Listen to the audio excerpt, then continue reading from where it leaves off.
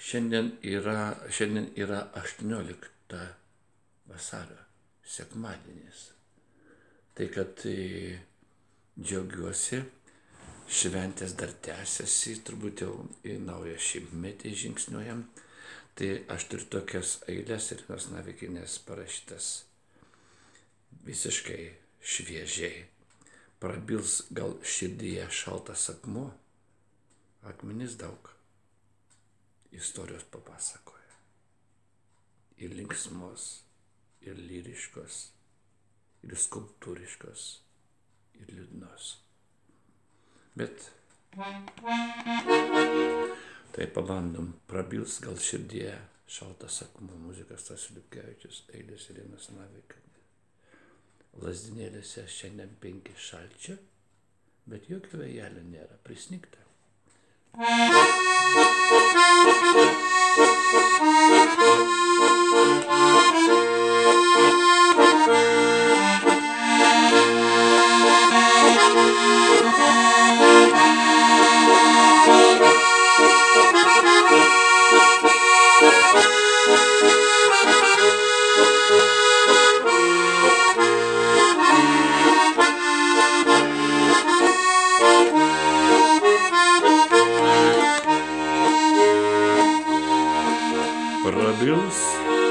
širdyje šaltas akmuo, kuris dar niekad, niekad nekalbėjo, sunku suprasti bus, kai jis sakys, kai šitiek metų jis ištikimai tylėjo, sunku suprasti bus, ką jis sakys, kai šitiek metų jis ištikimai tylėjo. Nublanko viskas, viskas, lyg per rūką, prabėgo lyg dar vienos rudens, tik tai širdyje atminimai pasiliko, kurie šį akmenį išjudins nuridęs. Tik tai širdyje atminimai pasiliko, Горієші ак мені йоди снурі данс.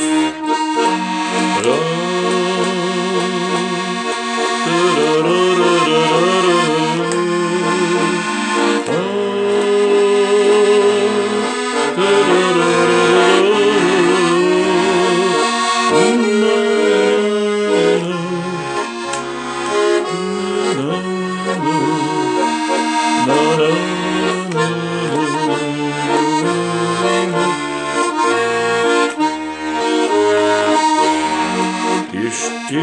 Ledai, randai, išgydys gėlą. Lemtis galbūt nebeieškos aukos. Širdį pražys vilties gražiausios gėlės, o sieloje gyvenimas liepsnos.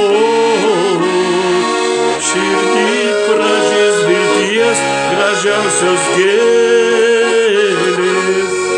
o sieloje gyvenimas liepsnus. Neprakalbės akmuo, kuris ir nekalbėjo, ne mums suprast, kodėl jis nebylys ir nesvarbu, kad kantriai įstilėjo.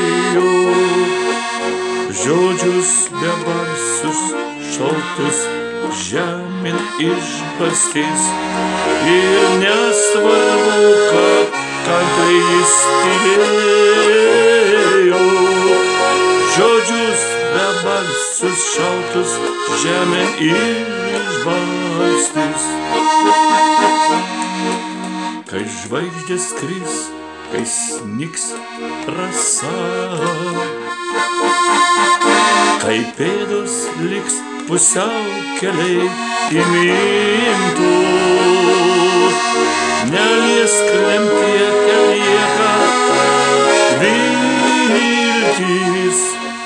Iškaltos raidės ant akmens gyvenimui, tik tai kitų jau viskas pavadinta.